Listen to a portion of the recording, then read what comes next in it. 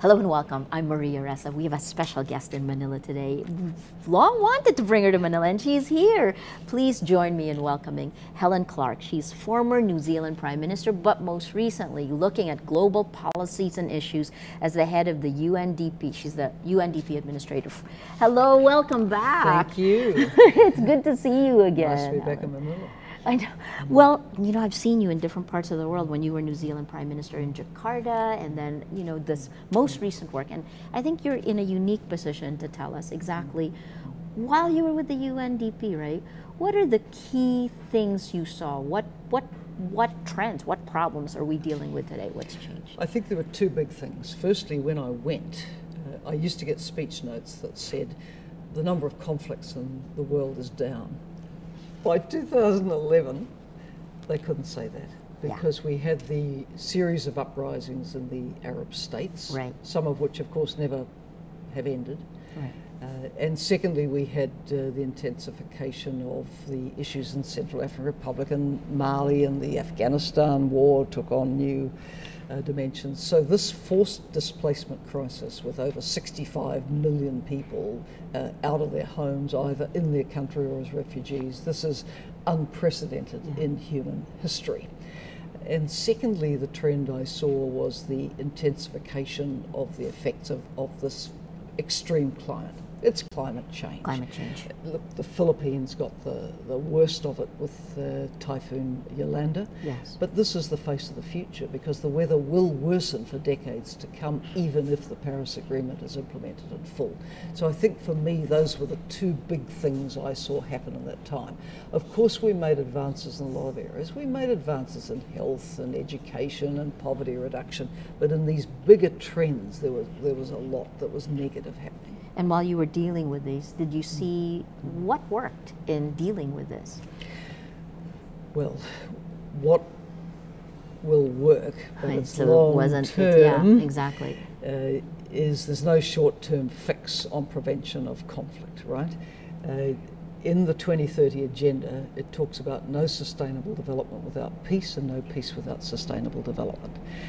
That is so true. Yeah. It, before the Tunisian uprising, for example, the UNDP Human Development Report pronounced Tunisia to be one of the fastest movers on human development. Yeah. But people didn't have voice and agency, they couldn't express themselves, there were frustrations. It all boiled over. Yeah. And then things can get worse before they, they get better. So we can't see development in a, in a sort of technocratic vacuum where we address economy and education and health, but don't look at the broader context of the society. If you really want to sustain development, you have to have peace. That means social cohesion, it means voice, it means being able to express, work things through, and we're a long way from that in a lot of countries. Um, if anything, it seems like it's gotten more uh, uncertain uh, from uncertain. 2011 until now. Right? Very uncertain. So I think we're in an age where volatility is absolutely the new normal. It's the new normal in the economy. We saw with the global financial crisis how the poorest countries on earth were affected by shenanigans in the financial markets of, uh, of the West. Uh, but what I also noticed in my years at UNDP was how political disruption also could throw markets completely out of kilter. So, for example, the Greek crisis. Now, Greece is a small yes. economy in the European Union, but the Greek crisis had ramifications right through the European Union. yeah. And for an economy the size and force of the European Union, that has global uh, importance. So, these political disruptions in the economy, and then there's the huge disruption that's coming from technology. Everybody's talking about it artificial intelligence and robotics and the fourth industrial revolution. Yes. Now, societies are going to have to have very smart strategies to deal with that, and I suspect many are barely thinking of it. Right. Hmm. Um, when we met uh, in 2015, I think, um, a while ago, we were really talking about this technology's potential to do great good, to help countries like the Philippines jumpstart development, right? The nir- nirvana of it. I mean, what role is, you, you said this disruption of technology, but from that kind of uh, idealistic view of technology, um, where are we? How has it changed in your mind, and um, how, how will it move forward? I think there's two ways of looking at it. Firstly, if you look at how the world traditionally developed, it went from subsistence agriculture into uh, manufacturing, and manufacturing was was uh, labour intensive. And that model uh, developed Europe, it developed North America, it developed eventually uh, Japan, Korea, East Asia, Southeast Asia. But with robotics, mm. there's not going to be a lot of intensive manufacturing. So if your model was predicated on that as the way forward, it is not going to happen. What does this mean for Africa with the many least developed and low income countries? Right. It means that Laos and Cambodia couldn't develop the way Vietnam or, right. or Philippines or, or, others right. did man, on manufacturing. So, so there's all of that. How do we equip citizens for a, a, different sort of economy? And that means investing much more broadly in education, lateral thinking, entrepreneurship, people being able to create their own job. Uh, a lot of, lot of issues there. Now, secondly, with technology, what I think is one of the phenomena of our times is that out of a very open society like the United States, you get the innovation and ideas which create the social media.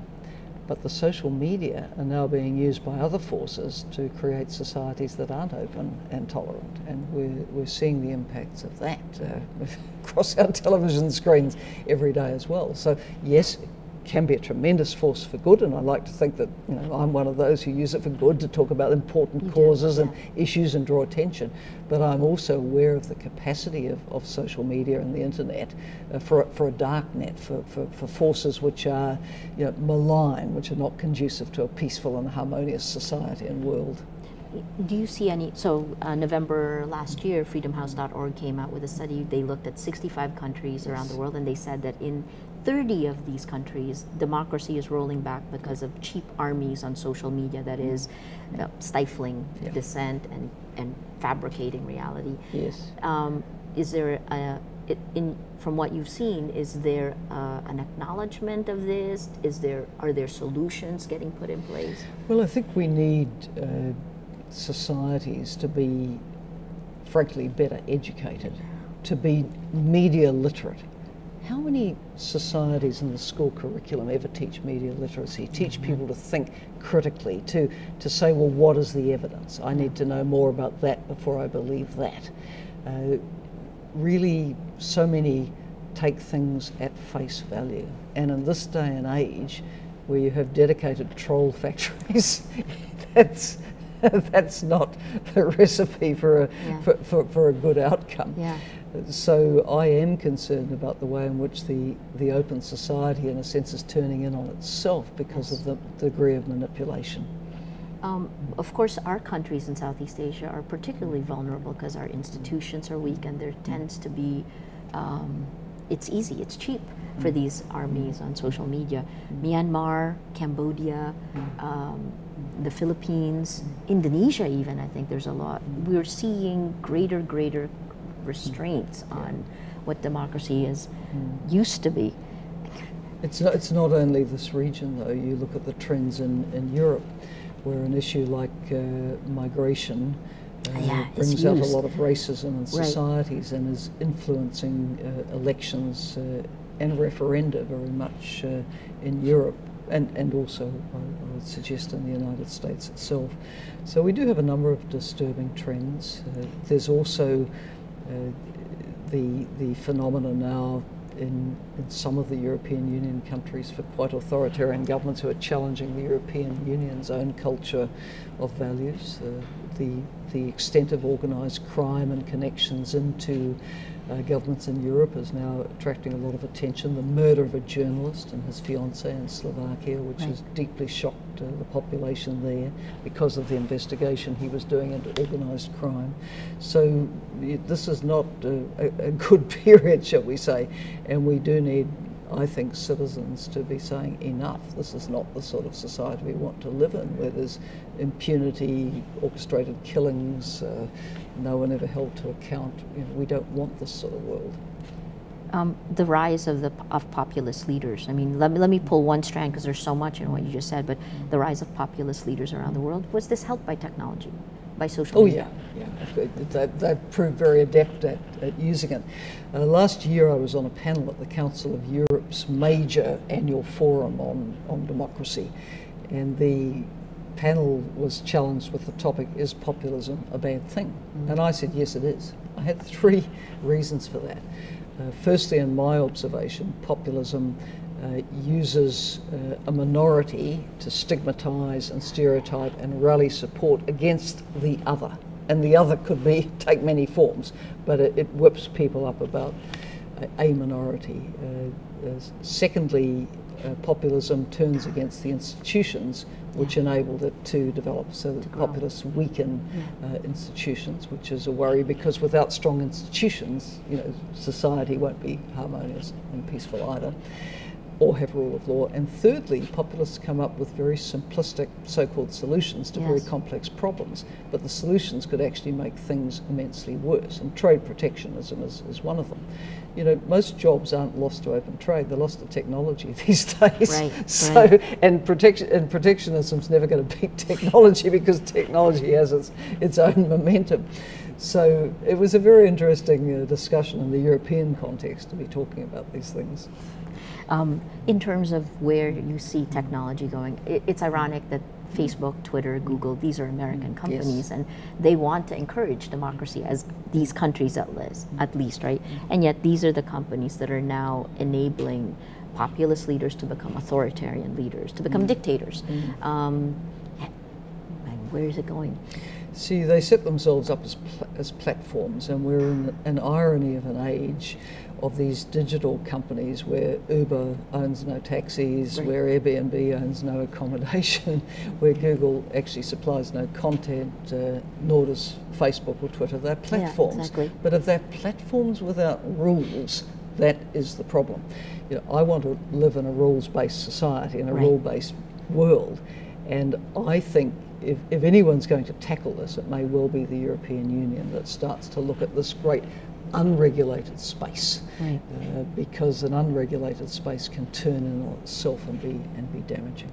I need to just zoom in on Russia and disinformation. I mean, in the United States right now, you have hearings that are going on that are investigations by the by the FBI looking at this. Um, when we look at this information and this classic case, it's only been recently that censorship changed from from stopping publication to like flooding mm. with with uh, lies, mm. and then pounding the the the fracture lines of society. Mm. And many people point to Russia to how that's done it against its own citizens, how it's done it in the Ukraine. What role? Do you see anything that I mean? Are are these autocratic populist leaders learning from each other, or is this orchestrated, or is there a playbook? Well, I think almost from the time social media got a large following, governments were working out how they could use it.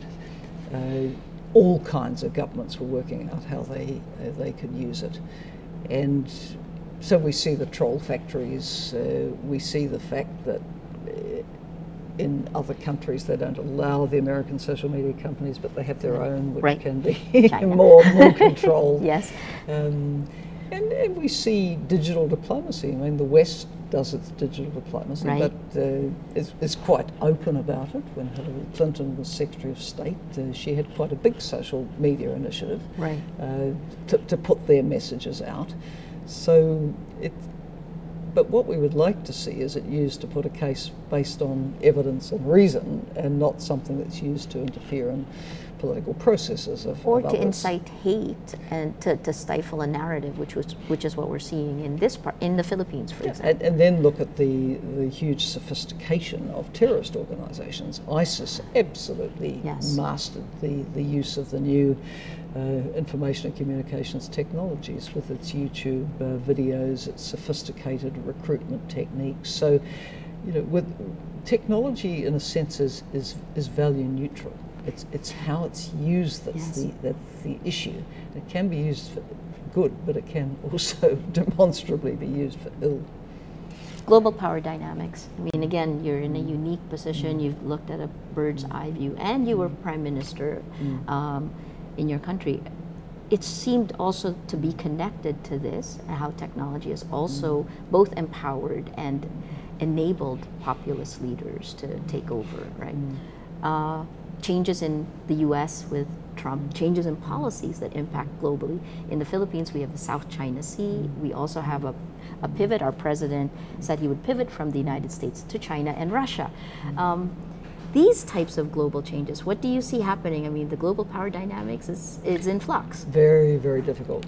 And of course, I came from eight years working in New York, where the United Nations had a power structure that was established by the victors of World War II. Right. How so interesting, right? The power structure looks a little bit uh, out of date these days because you have uh, on the Security Council, United States clearly a great power by any measure, China a great power by any measure.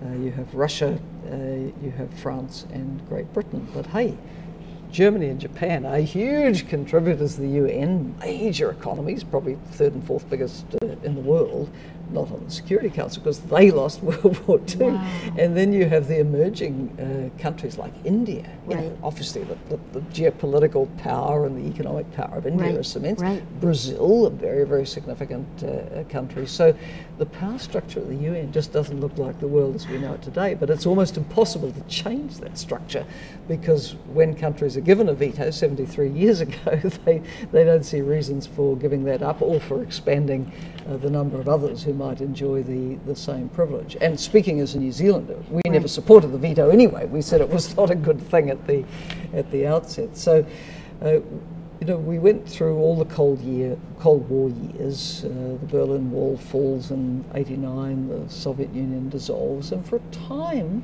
we had, you know, perhaps a, a more open discussion yeah. amongst uh, traditional rivals. But we're really back to what feels like uh, a new Cold War, uh, but there's a lot more big players as well. Uh, we have multipolarity without multilateralism, you could say. So this, these are awkward times, awkward to get agreement on, on things of substance. 2015, we had an incredible year for agreement on development, but none of it involved binding treaties getting binding right. treaties, Security Council resolutions on contentious matters, this is where it gets really difficult. Can it adapt fast enough? No, it hasn't adapted fast enough. At all? No. Um, and, and that kind of, will it be relevant? Well, that is the issue, that you lose relevance if you right. can't adapt with the times. And that is a concern I have. I think for the UN with its three major mandates, I think in general the development and the humanitarian arms are well thought of because they're there when people need them. They yes. have an ongoing presence and engagement within the society. So let's say that's been quite successful. We have the human rights pillar, which which struggles because yeah. a lot of trends are adverse, and you will exactly. hear our Human Rights Commissioner Prince Zeid from Jordan uh, regularly uh, very, very distressed about the trends he sees in, in the world. And then you have the peace and security pillar uh, with the UN, which was set up to stop another world war. But that's not the sort of war we're facing. We're facing these protracted uh, civil wars with a lot of non state actor elements to them. And then the spillover effects into neighbouring countries. I mean, who would have thought when the Syrian uprising began in March 2011 that it would end up with a refugee crisis in Europe that saw close to a million people heading towards Germany and the political implications that would have yeah. for a strong yeah. leader like Angela Merkel. So, right. all these complex spillover effects coming from uh, some of these trends.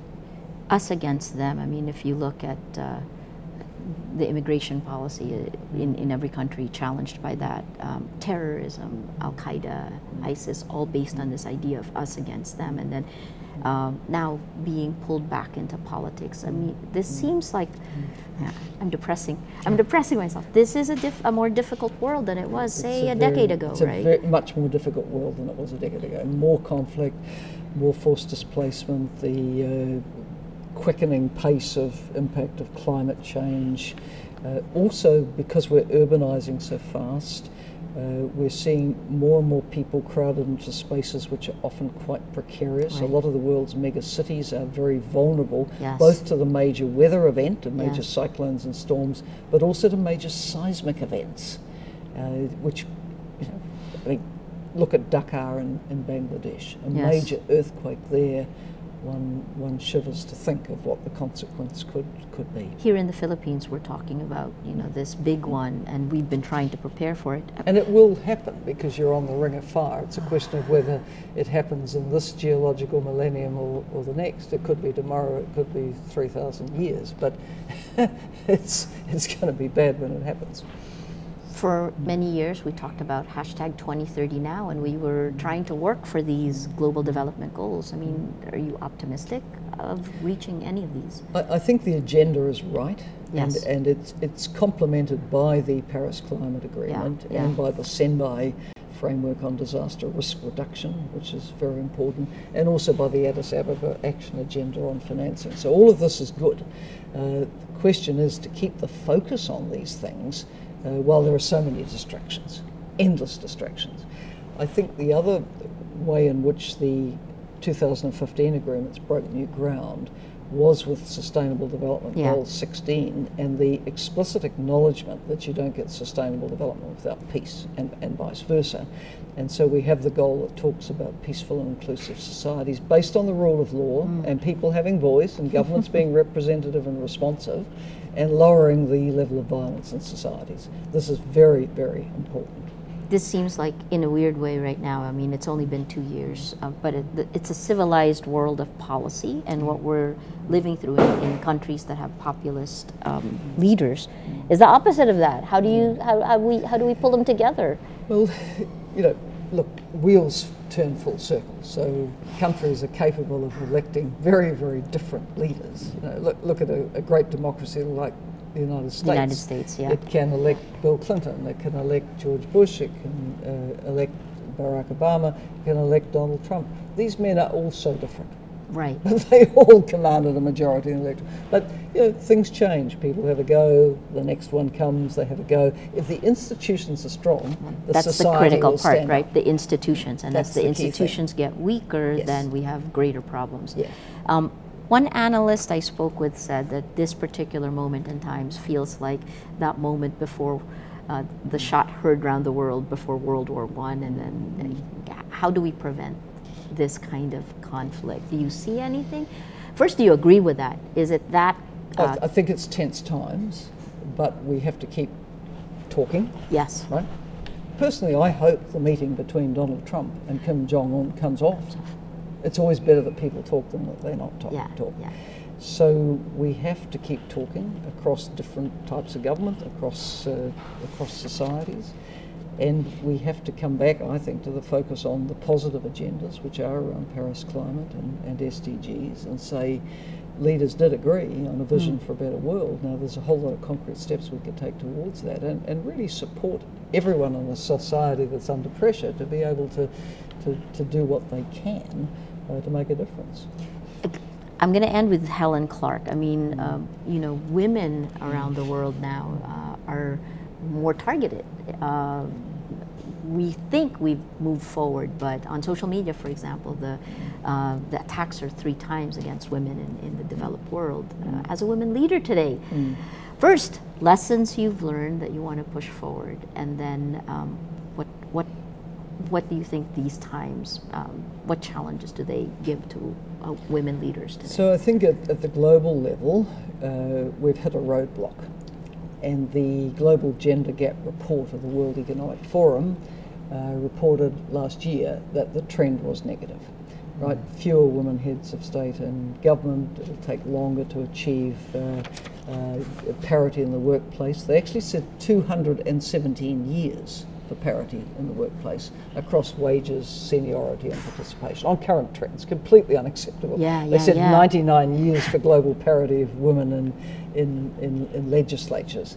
We saw Hillary Clinton hit a glass ceiling. glass ceiling, You know, a very well qualified candidate. We saw no woman elected for Secretary General, you know, for the ninth election Right. uh, in, in a row. Uh, and but we then see the Me Too movement. Yes. And I take encouragement Mm. from that because I see women standing up and saying, I'm not going to put up with this anymore. and it started a chain reaction. They're not going to put up with it. Women are speaking out across all sectors of economy and society, Mm. saying, This happened to me and it's got to change. So you have to have uh, that kind of catalyst, I think, for, for change. And it is motivating a younger generation of women. Now, you know, coming from New Zealand, we have our third woman Prime Minister. Women have held every significant position in New Zealand. Uh, we still have work to do, but we have a 37 year old woman Prime Minister. She's about to have a baby and take maternity leave. Young women are so excited by this. Yeah, You know, exactly. She's become a, a global role model. Yeah, so, when she visited here, yeah, she, so there's positive things. There's positive things, and let's hang on to the positives and use these as examples of what could be. Your advice for other women. I mean, what things have worked for you and. Uh, Well, uh, we have to be very resilient because uh, when you come forward to contest positions of power, actually whether you're male or female, other people want them. So you've Yes. got to be very Yes. resilient. And often women, I think, uh, think, oh god, that looks so horrific, so nasty. But we have to step up. Now, never step up on your own without support. You have to have networks around you. You know, your family support's important. Your colleagues, your, the alliances that you, you make, and you have to be prepared to persevere over a very long period of time.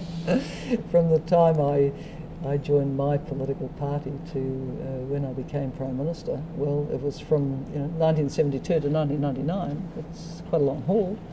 I was 18 years a member of parliament before I became prime minister, and I had a lot of lot of low points in that. You know, as we lost elections and so on. So, yeah, just take the long-term view and hang in there. If it's important enough, you'll build the resilience to deal with it.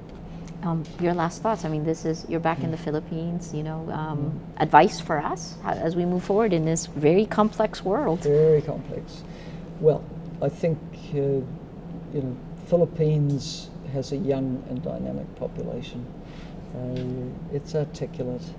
Uh, it's it's social media savvy, and I just say to young people, use your voice. The future's about you. It's not about people my age. It's about you. So, you know, be clear on what you want your future to be. What you what kind of society you want for your children to grow up in. Use your voice. That's my advice. What we're seeing is, I mean, do you see values changing globally? Because again, as as the these troll armies go on social media, as more populist leaders come and take control in other countries.